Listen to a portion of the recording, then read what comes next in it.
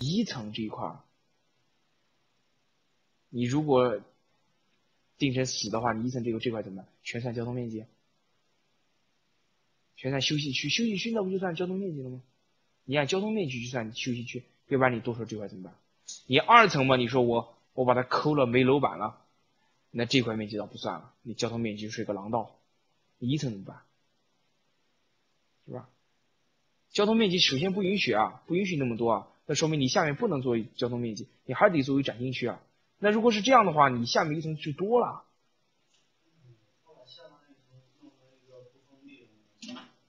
那也不行，不封闭也不行。一层肯定要算面积的。啊？什么架空？啊？那一层就该放什么放什么了。你作为展厅的话，作为大型展间，那可能还需要大空间呢。大型展区的话，大型展间，你总共九，总共你总高九米，你一层高可能不高，也就四米多，四米多。你加如果加上吊顶啊，加上可能一层每层层高都没多少。如果是大型展间的话，你想想有多少？啊？那肯定是要不然的话，你要做，你肯定按展厅去算它的面积。你不可能用用用通过呃是交通啊呃从交用交通去权衡它的面积，你这样的话交通这个算到就不够了，就麻烦了。你考虑到这些，你只要想清楚为什么这一块是缩不是扩就行了。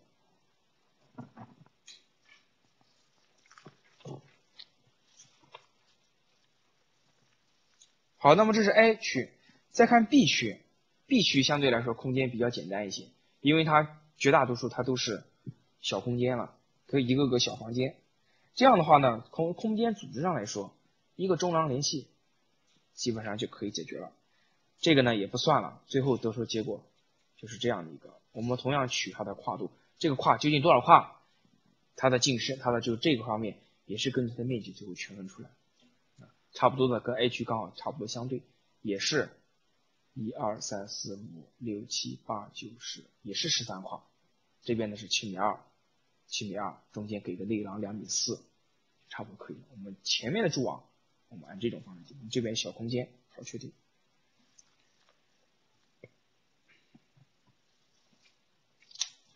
然后呢，这大蛛网出来出来以后，然后我们在这个大的蛛网区内划分空间。再看，先还是看 A 区。A 区呢，还是依据前面对于功能分区的认知，从大厅着手，就是公共空间。也是主要空间，也是我们这个设计里面的特殊的空间，就先抓这个主要矛盾。那么根据分析得出啊，大厅占三开间为宜，就是我们刚才前面所说的，就这一块，我们先把这个解决掉。两边各五开间，其中啊，创作研究部分对功能布局整体影响比较大。创作研究部分，因为大家都是小空间，空间比较散，那么在条件允许情况下呢，还要考虑到的它的景观要求，所以我们考虑放一层的东侧。其中较特殊的房间呢，有一个三百平的一个演讲厅，因为空间形态特殊，在我们这个住房体系，你们看能不能有效纳入进去？能不能纳进去？你觉得这里面布置在哪儿插一个三百平米的演讲厅比较合适？你考虑后发现，这样的你硬塞不好塞。那么在这种不好塞情况下，功能又比较相对独立，而且呢，它要求还要考虑到能够独立对外使用，是不是这样？所以的话呢，对于这块三百平米的音响厅，我们就单独把它甩出来做，单独甩出来做。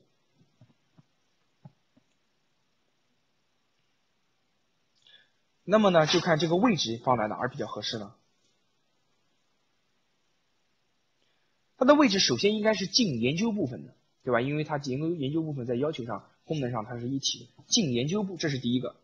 第二个位置啊，你们经过研究推算过以后，就是我们在这个位置在哪？在总平面回到回到哪？回到总平面用地布局的那张草稿纸上，你看总面布局基本上已经定下来了。你看这块如果拉出来一块，放哪比较合适？最后决定放哪？放这儿可能比较合适，因为这两边已经没有空间了。我们当时考虑这块的时候，这个就是一个消防车道，可能还有一个绿地，放这儿不能合适，放这儿。为什么放这儿？因为你这儿前面这块什么广场，是吧？方便于它的独立疏散，是不是这样？它好用，你甩到这儿可能不好用。再说这个基地上可能也有限制。还有一个呢，从大的空间形态上回到一开始，我们是为了满足那个而最后设下的伏笔。可记得我们说人流是从东边来的吧？怎么样迎合人流呢？往往从人的视觉心理上来说，一个这样的形态，是不是对于人流有一种一种迎合的一种效应啊？主入口在这儿，是否有一种迎合的那种心理效应啊？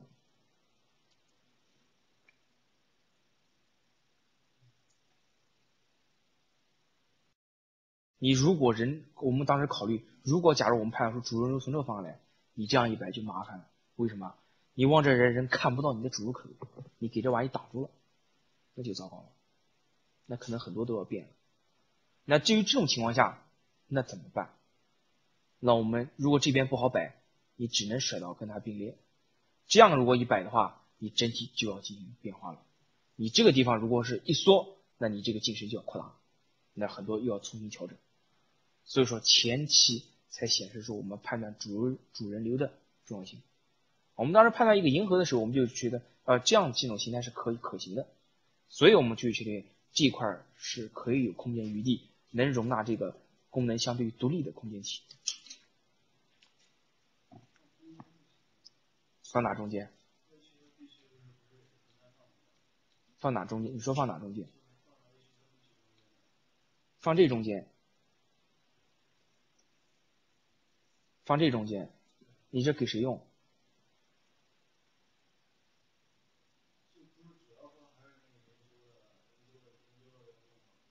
那任务书上有一条，你看了没？我叫你特别注意的。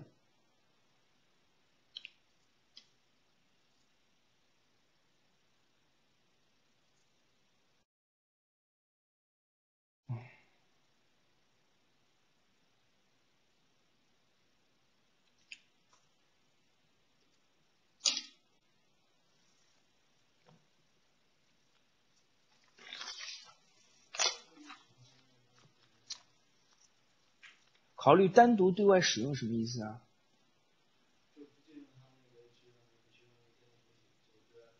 啊，对呀。为什么不影响？你人从你你人流从哪进？你那么多人流从哪进？为什么不影响？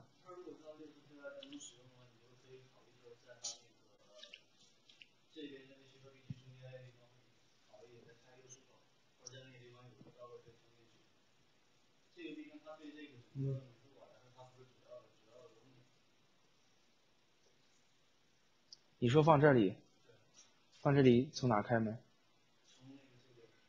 从这边开过来。从这边，这边有路吗？那你说我从消防通道里过，可以吗？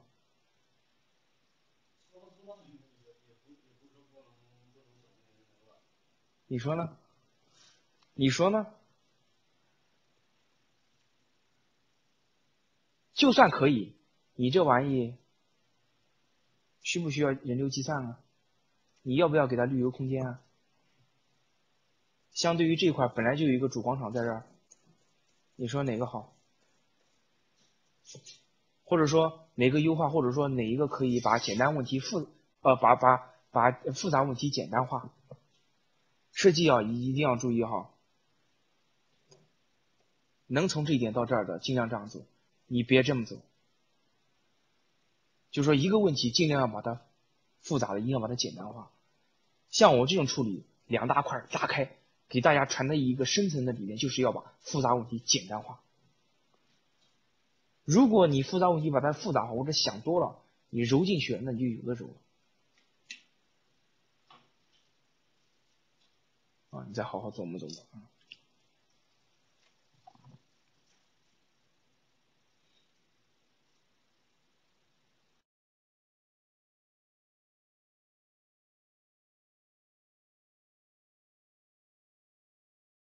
那么呢，现在这个问题就是说，如果说要这么布的话，你这两个之间怎么接？这个问题。这个接其实是相对来说是比较容易的，在空间手法上不复杂，就是用一个过厅去衔接它就可以了。但这至于这个衔接怎么处理，在具体平面上怎么处理，我们马上有一个练习，大家一看就知道了这块，而且这块需要调整的，因为一层的这一块是功能空间比较复杂的。好，现在我们呃时间上已经不多了，我们去继续讲吧。你们有时间可以上我们这个群啊，把这个下下来，把这课堂练习这个下下来，就是这个，就这个群，就是这个墨石这个群，这个群里面我上传了一个课堂练习，把这下载下来，好吧？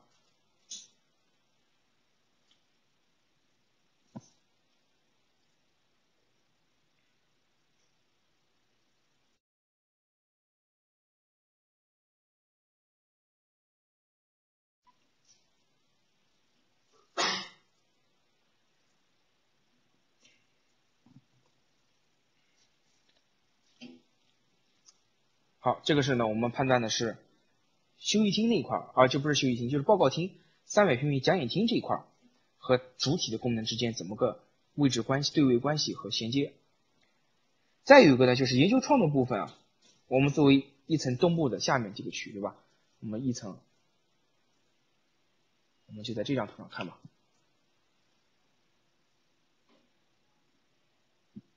甲放这儿。研究创作部分是这一块一层这一块那么这一块的话呢，应该设置一个单独的出口，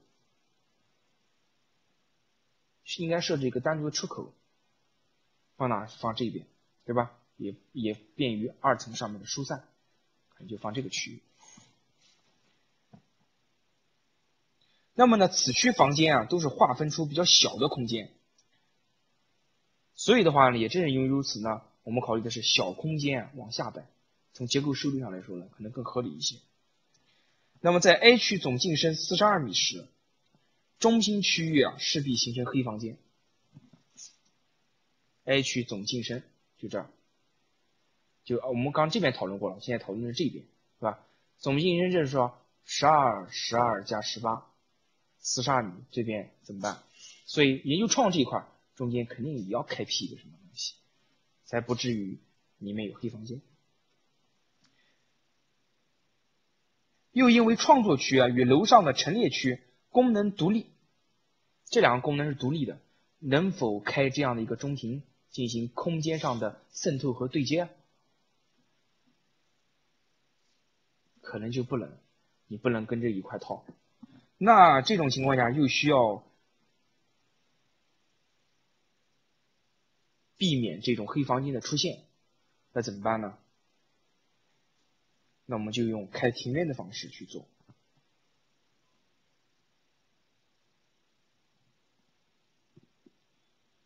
开庭院和这个区别在哪呢？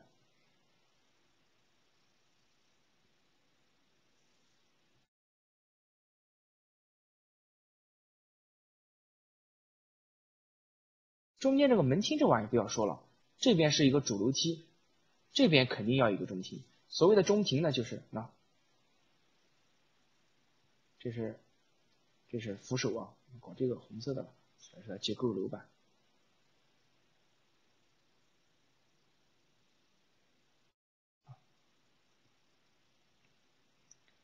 这是通的，我们叫中庭。那么庭院是什么意思呢？庭院就这意思，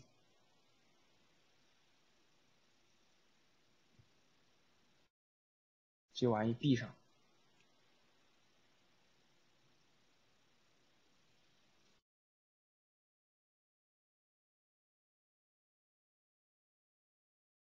这个是和天通的，这叫庭院，这是封死的。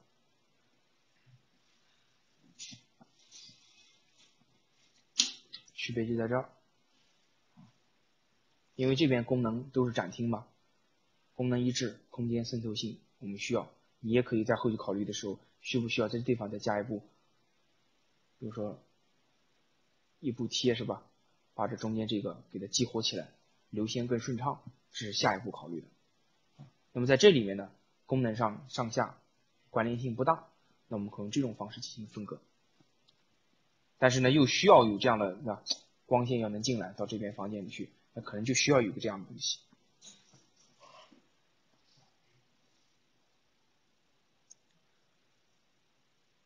那最后呢，还要分析一下什么呢？就是这这就是这边的考虑的，从空间上，从剖面和平面上我们去推敲。然后呢，还要考虑一个就是什么？就是就是还有一些区域，就这个 A 区啊，还有一些功能用房，比如说像什么呢？像展具啊，大厅部分还有保安、办公、监控啊这些，有的呢可以在大厅前区或者是后区布。那么还有一些像比如说咖啡座、画店这一类的，那么一层呢以交通为主，流线比较多，所以咖啡厅这一类的空间的话呢，画店什么可以摆到二楼去。那比如说我们一层这一块这三块，是吧？我们可能是这个地方我们做做交通，是吧？然后呢后面这个地方。我们做是卫生间啊，什么这些乱七八糟什么东西，呃，要通到后面去的话，这边可能还要后厅，为什么呢？因为你考虑到后面还有个还有个廊道跟后面必须接啊，那前面呢是什么？可能是大门厅，然后再来一个保安什么的值班，估计差不多了，摆不了咖啡这些，咖啡这些而且是比较静态一些的，啊，这边门口人很多，人流很多，可能不适合摆。那如果摆到上面去，哎，刚好这地方空出来个公共区域，刚好可能就适合摆一些。咖啡啊，画垫啊，那么这边后面去可能是适合摆一些什么个展具啊，什么这一类的，刚好这边都是展览空间。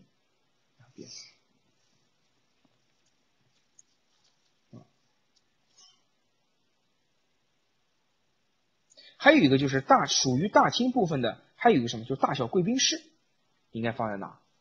那么这一点的话，大小贵宾室就是这个东西，大贵宾八十，小贵宾四十，还有这两个。这两个东西应该放哪？你要看到这个贵宾是给谁用的？贵宾是指什么贵宾？这贵宾干嘛来？干嘛来了？那么这个贵宾的话，如果你仔细考虑一下，可能会想到这种贵宾啊，可能和什么有关啊？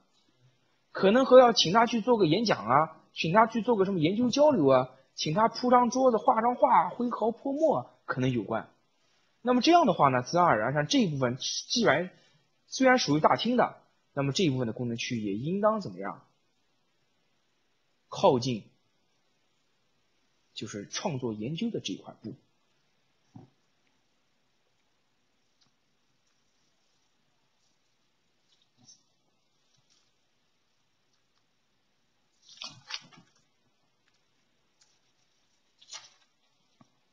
是不是这样了？这个就是 A 区，我们基本上就分析完毕了。那再看 B 区。后勤啊，等你最后算出来以后呢，后勤是吧？在这地方，我们算出来，根据这个面积和这个我们这个结构网格算出来以后，它大概啊是占六个开间。至于一楼的东部后勤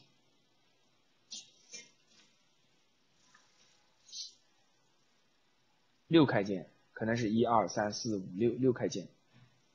至于一楼东部，这是东，放这儿。收藏画库呢，放在二楼。垂直交通和卫生辅助用房应在一楼门厅处，近 B 区的中部附近，那就是在这一块儿，在这一块儿形成公共区。这个公共区呢，也和 A 区这边啊衔接。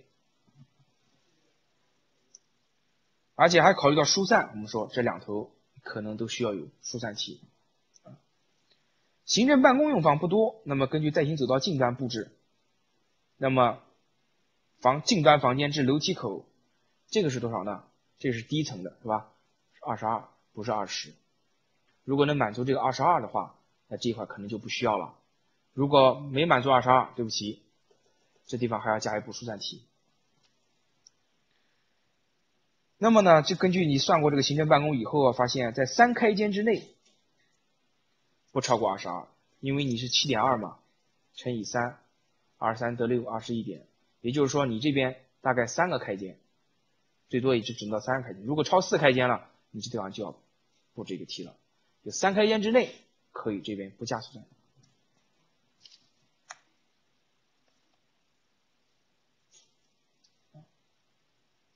这个呢是 B 区的大概的一些观点，就因为 B 区相对来说比较简单一些啊。划分到这一块的话呢，我们就是又入到下一个环节，就是在结构网格与功能划分的互互动，就是这一块。其实我们前面所做的文章就是在于一个互动，就是这个呢，互动并在结构网格中进行面积的加减。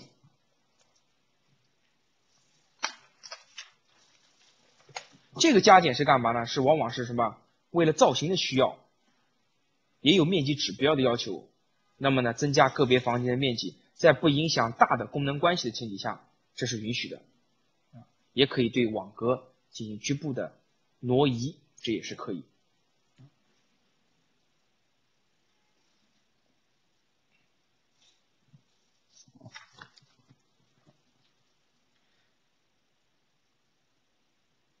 好，那我们再看第四个，这是第五，这是第五个了吧？方案的推敲和深化。前面呢，我们根据它的面积指标的要求，根据大型体量的判断，我们呢在我们的网格里基本上把我们所需要的空间面积基本上纳入进去了。现在呢，我们要重新回过来的头来调整一下我们这个结构是否合理。我们看这个，这个基本上问题不大，主要看这个，这个你说有没有问题啊？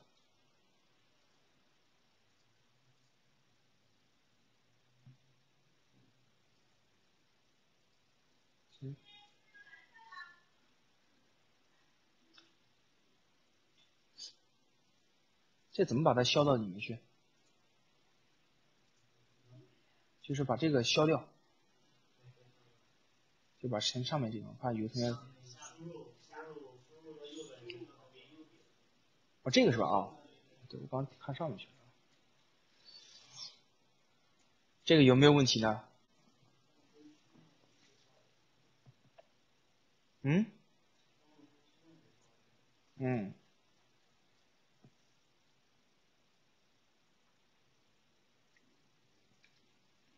现在我们根据前面判断。有些地方是我们已经得出一个结论了，就是这个地方有一个中庭，对吧？这个中庭呢，假如说我们是在这一块，我们不一定要画大，我们就这一块中庭，我们中间留两个作为交通或者做其他，这三块是是是门厅那块不能动它的，是吧？然后呢，这个地方呢，可能还要有一个什么内院一类的。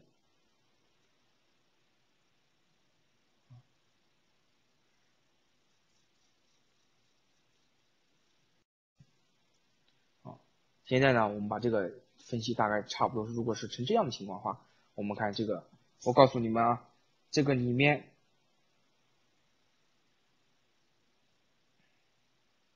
有好几处结构要动，你们看动哪儿比较合适？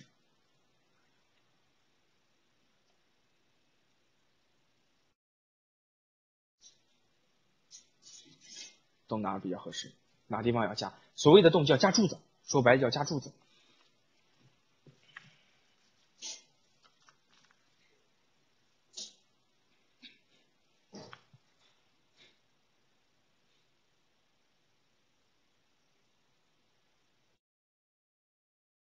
首先，我们第一眼看就这太大了，太大了，对吧？太大了，那中间肯定要加柱子。问题是柱子怎么加？这个柱子是不是这样加？是不是这么加？就是把这两排加满，是不是？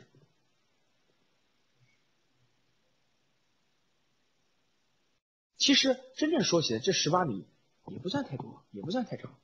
是吧？有没有必要加成这样？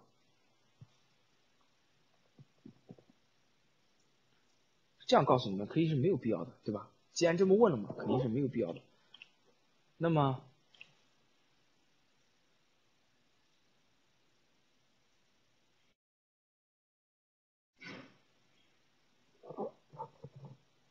在哪些地方进行做可能更好呢？比如说这个地方啊，这个地方我们说是。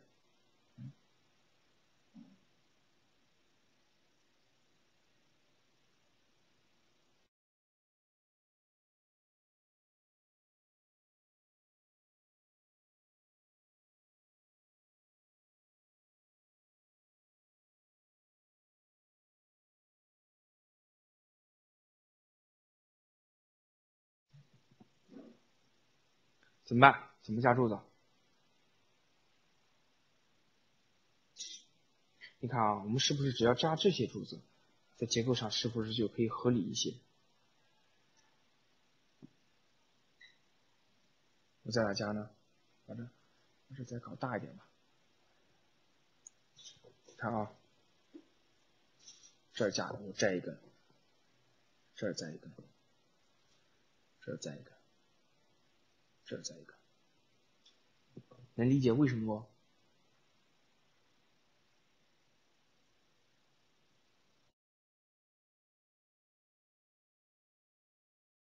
然后呢，我再，我在这儿再一个，在这再一个，然后在这儿再一个，在这再一个。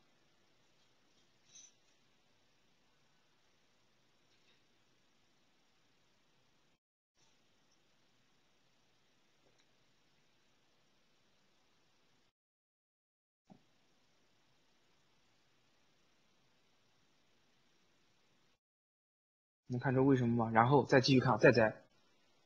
我这边再看，我这边变了哈。我这边这样摘，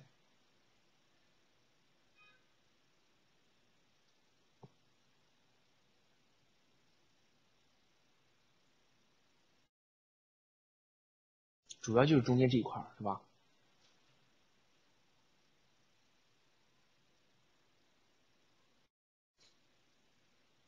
大家都是聪明的人。我一点大家就应该知道了，不需要解释。然后我再摘，再摘什么？看好啊！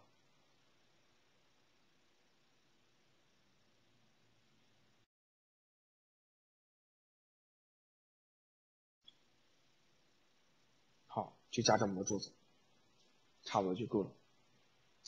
如果是考虑到，假如说哈，假如说这边是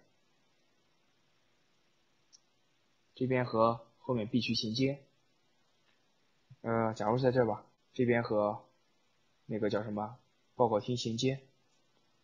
假如是在这的话，都在这再加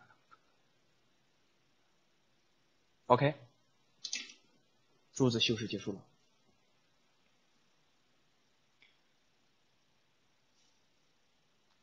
好，我解释一下。在几个关键点加柱子，改善结构受力和减小跨度，哪几个关键点？这是不是关键点？是吧？然后从刚度上来讲要均衡吧，所以这边我也要加。但这边加还有一个意义，什么意思？从大的功能分区上来说，这边是门厅区，这边是展区，这两个柱子是不是有把这两个区划分出来的一个功能作用啊？啊，如果说从结构上这么大，然后我把这个柱子外面再包粗一点，这两个柱子马上成为一个空间界界限了，是不是这样？是吧？那么这块我为什么不这么加？我加到这中间来了呢？因为是一边是小空间，这边大空间，而且的话，相对于这样加来说。这样加柱，加一排中柱显然是更合理一些。但是为什么这儿不加中柱呢？对对对对对对，这边小空间，所以加中柱，最合理的又是这种方式，所以加到这儿。这边刚好九米九米，上米上米，更加均衡。至于这为什么加了一排蓝柱，加这黄柱就不用说了，射缝，射缝就太长了，中间射缝。那为什么在这一段设呢？对对对对对对对对对对，为什么在这设呢？连接体处肯定是结构可能断开，啊，尤其是跟桥啊、廊啊连接地方，结构做到这儿，这结构基本完成就差不多了。其实完善结构也就 H 需要完成这几步，大家以后再做类似于这样的时候，怎么完善柱距啊、完善柱结构的时候，也就是在这几个关键地方加注就可以了。不需要一排加到头，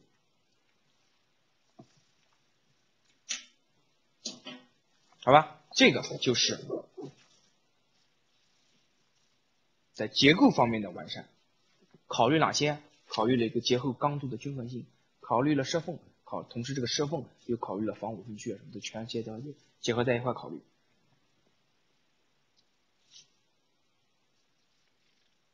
是不是这样？如果说我们想在锦上添花一点，我们要突出主入口，往往什么做法呢？要不就把这个主入口怎么样突出一点，要不呢就凹进去一点，是吧？如果我们按凹进去一点算的话，假如说我们凹进在这儿，好，那我们可能还需要再加一点柱子用于平衡，就加哪呢？一个，两个。三个、四个，然后呢，把这两个柱子去掉，就 OK 了。这样的话呢，你主入口推进一些，同时你这个平台也可以扩大一些。利用二层上面挑出来部分，刚好做雨棚什么的够用。这个入口处自然就有了。同时呢，又可以节省你关于这一块的什么交通面积。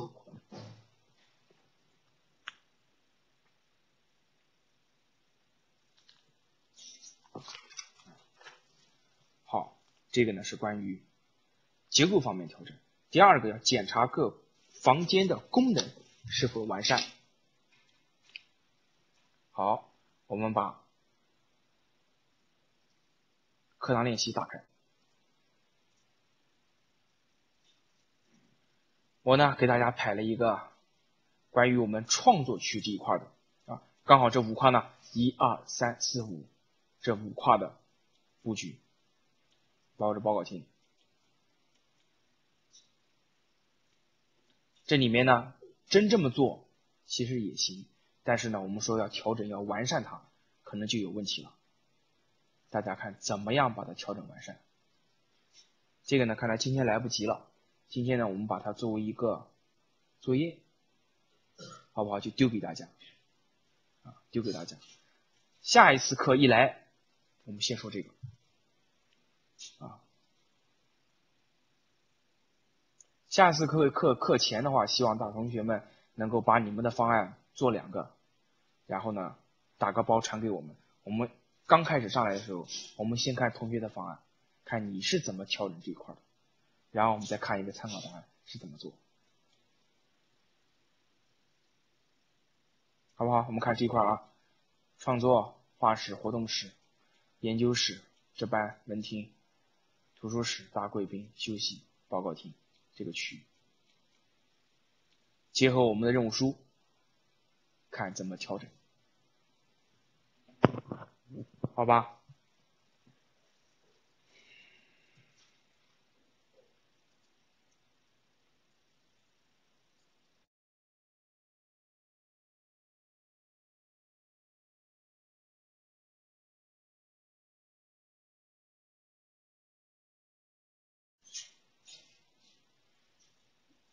同学问这个梁柱啊，尺寸怎么调？这比例什么比例？梁柱比例怎么怎么怎么算？啊，有同学问了，梁柱怎么算？梁柱是什么比例？他应该问的不是比例，梁柱应该是他应该是可能是这个这个钟恩华应该是问是梁柱是什么尺寸吧？是不是这意思？梁柱什么比例？这这怎么理解？什么三比一什么意思？啊？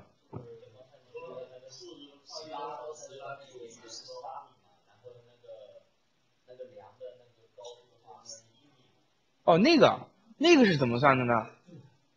那个是这样的，那个呢，不同的结构啊，梁的柱高不一样，和跨度不一样。现在一般情况下的话呢，是定多少呢？是一般框架结构是定一比十四到一比十八，过去呢是一比十二到一比十四算。什么意思呢？也就是说，如果你跨度有十四米，跨度十四米，呃，跨度十四米的话，你量高可能就要定到一米。如果你过去的跨度小，因为过去那个结构啊、材料各方面可能是受力各方面算比较局限性，所以算的比较保守，偏保守。我们国家这块算的比较保守，算到一比十二，就是你跨度十二的话，你量高就要一米，一米宽，一米高的量。现在呢，很多的话结构技术上比较完善了以后。现在更多都用到这个了，就是一比十八了，就是跨度十八米可以的，就这样。但一般情况下的话，我们的梁定好了哈，一般情况下，绝大多数建筑的梁高六百，很大一点的定到七百就不得了了。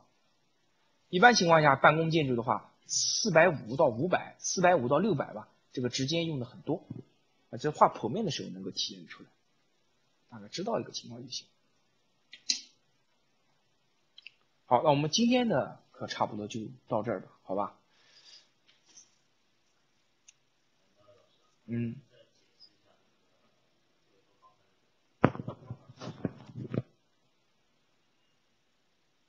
放大缩小，你还没明白吗？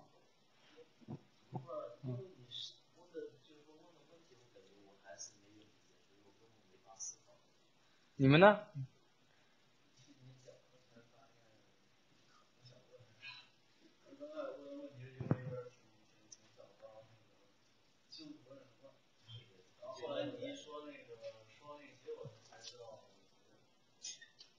好，那我把这再再尽我所能再解释一下吧。你那一千怎么算的？三十六，这是多少？二十八，这是实体啊，里面没有带什么，没有带交通，是吧？现在你把它剖开了。你把它剖开了以后，这这是一块这是一块你上下都一样的吧，对吧？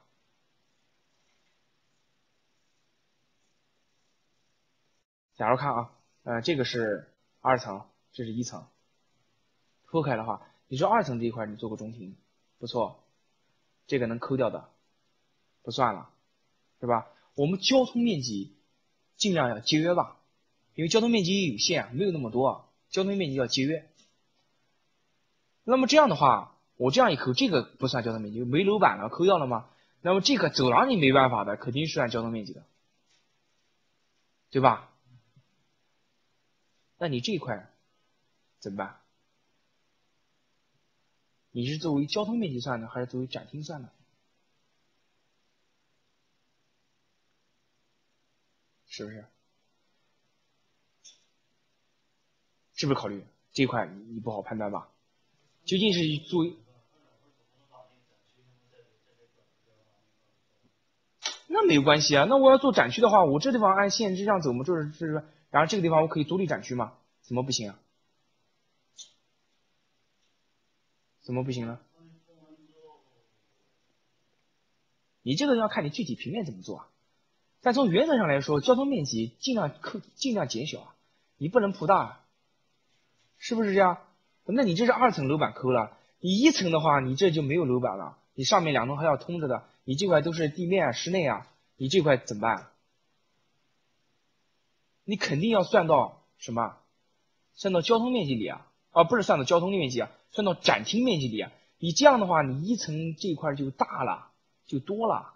如果你这地方你二十八扣十四，你还按十四算的话。你这地方又加了展厅面积，你这多少啊？你超得超多少？啊？正是因为这样，你这地方加了一部分这个面积也算到了展厅里面，所以这两块要缩，是这样的，是这样权衡的。更能这样说更能理解了，这样能理解了吧？哪一个二楼？嗯。啊，是也十二啊。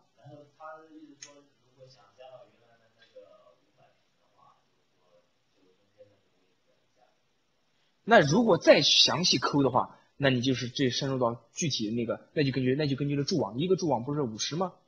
然后你根据抠抠看你大概刻多少，然后你再确定这一块究竟应该算哪一部分面积上。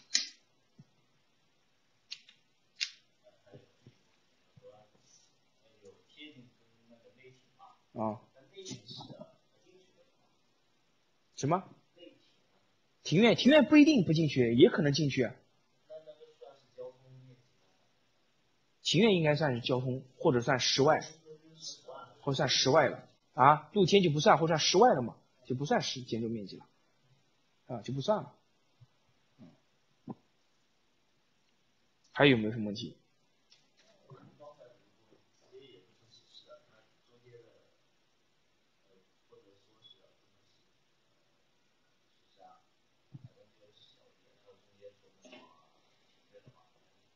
哪一个？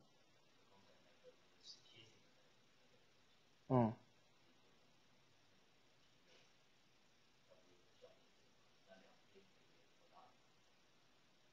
那你展厅那块，如果你做你作为天影庭院的话，你上下功能空间不就不连续了吗？所以说你那块的话，应该是作为中庭考虑，所以下面那块面积还要用上的，嗯，就这样。对呀，要四块啊，任务书上要求要有四块啊，啊，好吧，这个呢，大家回去还要好好考虑考虑。然后呢，这个是一个，然后这个呢，告诉大家以后，你啊，今天已经分析差不多了，你看根据这个分析啊，你能不能去摆一摆？其实这个都有，但是现在不好给你看，看了你就你就知道怎么做了，好吧？包括总平面这个，暂暂时先不慌看，我把这个呢放到下一次课再去那个想。今天回去的就是第一个把那个平面完善一下，然后另外呢，最好能够把这个。平面图再做一下，好吧？那这样的话呢，你们就用 CID 去做啊。这样呢，一方就训练 CID 的，就训练这个。因为今天说的都是都是分析，是过程分析。那具体一步怎么操作的话呢？你看你怎么调整一下啊。因为大的难点的东西基本上都解决掉了。把这些吧，就是课堂练习参考答案。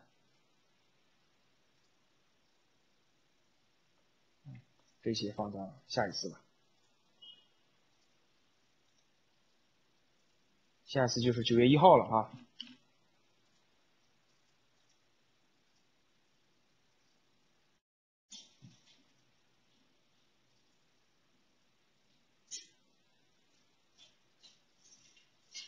行，好，那我们今天的课就到这儿哈。